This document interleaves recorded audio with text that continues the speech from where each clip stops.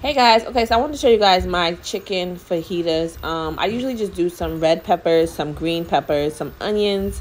I cut those up. I saute saute those in some oil and a little bit of butter, and then I cut up my chicken. I season it really with just some cumin, onion powder, garlic powder, um, taco seasoning, and that's pretty much it. Cut it up, season the meat into little pieces, and this is how I make my little fajita, um, my chicken fajitas and I wanted to just share with you guys. Hope you enjoy.